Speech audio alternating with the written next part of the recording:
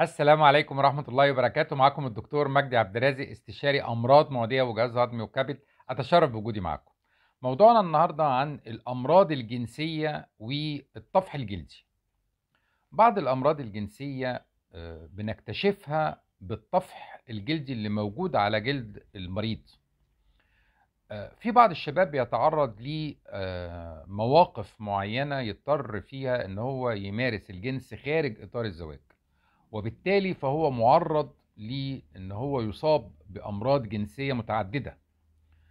آه، منها الإيدز منها السيلان منها الزهري الكلاميديا فيروس بي آه، الكبدي.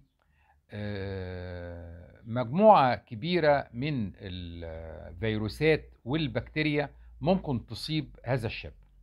وبالتالي الدكتور المختص بيبتدي يكشف على المريض ويشوف آه، الطفح الجلدي اللي موجود على الجلد بتاع هذا الشاب ده ممكن آه، تشخيصه يكون إيه. طبعا في مرض الزهري هو عبارة عن مراحل. المرحلة الأولى عبارة عن آه، احمرار حبة بتظهر إما على الفم أو على اللسان أو على الأعضاء الجنسية. وهذه الحبة بعد كده بتبقى قرحة والقرحة دي بعد كده هو بتتحول آه، بتكبر وهذه القرحة غير نازفة وبتبقى ناشفة وفي نفس الوقت آه، هذه القرحة غير مؤلمة وبالتالي آه، معظم المرضى ما بيشعروش بيها. أيضا هذه القرحة بتقعد فترة أسابيع على بال ما بتشفى وبتشفى عادة من تلقاء نفسها. أيضا بتاخد وقت على بال ما تظهر يعني هي بتظهر بعد عدة أسابيع من العلاقة الجنسية. وأيضا هذه القرحة آه، ممكن تكون في مكان مستخبي زي مثلا آه، المستقيم أو زي المهبل. ممكن الشخص ما ياخدش باله منها.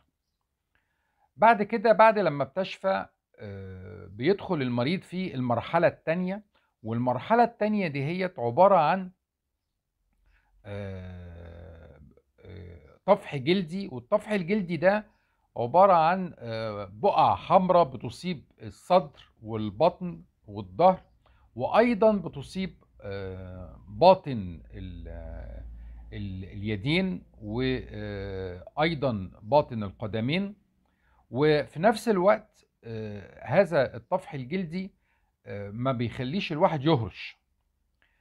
آه، أيضا ممكن يصاب في المرحلة الثانية بارتفاع في درجة الحرارة سقوط في الشعر إحساس بإعياء وصداع وارتفاع في درجة الحرارة ممكن يصل ل 40 درجة مئوية وفي نفس الوقت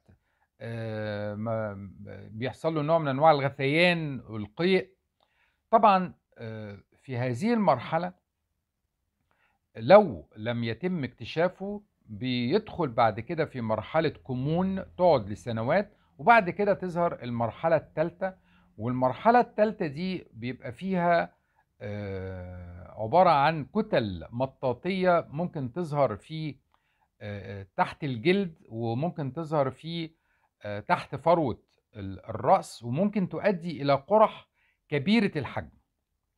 طبعا في المرحلة الثالثة دي ممكن يصاب الإنسان بمضاعفات آه، ممكن تصل إلى الجنون أو إلى الوفاة. في أيضا أمراض أخرى ممكن تؤدي إلى طفح جلدي زي السيلان. السيلان ممكن يؤدي إلى قرح في الأعضاء الجنسية أو على الفم. وأيضا السيلان ممكن يؤدي إلى آه، يعني ألم أثناء التبول وإفرازات صديدية من مجرى البول وآلام في آه، الحوض عند السيدات. آه، أيضا مرض الكلاميديا ممكن أيضا يؤدي إلى قرح آه، سواء في الفم أو على الأعضاء الجنسية. وده أيضا ممكن يؤدي إلى آلام أثناء التبول والتهابات في عنق الرحم. آه، أيضا ممكن هذا الشخص يصاب آه، ت- فطريات تبقى موجودة على اللسان. وهذه الفطريات بتدل على إن المناعة بتاعت هذا الشخص آه، قليلة جدا. لأن دي عادة بتحصل في مرضى الاتش اي في اللي هم ما بياخدوش علاج لفترات طويلة. آه، وسنين ده ممكن يظهر لهم فطريات في اللسان آه، اسمها كانديدا عبارة عن غطاء أبيض مغطي اللسان. طبعا ده بيؤدي إلى صعوبة في آه، البلع وممكن يؤدي إلى آه، إحساس بالغثيان والقيء. وطبعا ده من ضمن الأدلة على إن المريض ده دخل في مرحلة الإيدز. ودي المرحلة اللي بيحصل فيها مضاعفات والاتش اي في ساعتها بيتحكم في الخلايا المناعية بتاعت هذا الشخص. أيضا في آه، ممكن آه، ال Epstein-Barr virus ممكن يؤدي إلى آه، طبقة بيضاء على جانبي اللسان وفي نفس الوقت شعيرات موجودة على جانبي اللسان وده نتيجة برضك ضعف المناعة. إحنا عارفين إن ال Epstein-Barr ده اللي هو مرض القبلات وبالتالي ما بيظهرش الأعراض بتاعته إلا لما المناعة بتاعت الشخص تقل جدا في مرحلة الإيدز. أيضا في مرحلة الإيدز اللي هي المرحلة النهائية من مرضى الاتش آي في بيظهر على آه، الجلد بتاع الساقين آه، بقع وردية وحبيبات وهذه الحبيبات ممكن آه، تكون يكون الشخص مصاب بأنواع من السرطانات الجلدية نتيجة نقص المناعة. ودي إحنا بنسميها كابوسي ساركوما.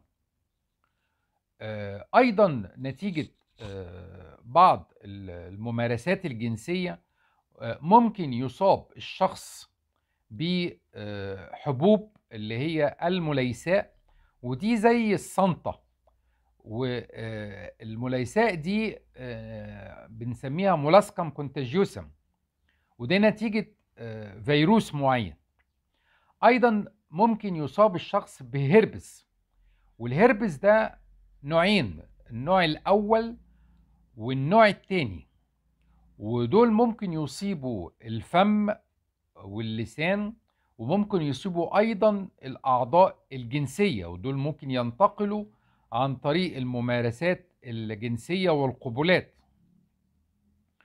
أيضا آه، بالنسبة لمرض الجنسية آه، فيروس به الكبدي أيضا آه، ممكن ينتقل عن طريق الممارسات الجنسية وده ممكن يؤدي إلى إصفرار في الجلد وفي العينين. وده بنعمل له اختبارات عشان نتأكد إذا كان فعلا أصيب الشخص آه، بفيروس به الكبدي ولا لأ بنعمل إنزيمات كبد آه، وبنكتشف إن هذا الشخص أصيب بفيروس B الكبدي نتيجة العلاقات الجنسية. آه، أحب أشكركم وأحب أقول لكم إن لو في أي استفسارات أو تقارير طبية هسيب الواتس بتاعي صفرين اتنين zero عشرة سبعة وعشرين تمانية وعشرين أربعة سبعة سبعة تمانية. أشكركم جزيل الشكر والسلام عليكم ورحمة الله وبركاته.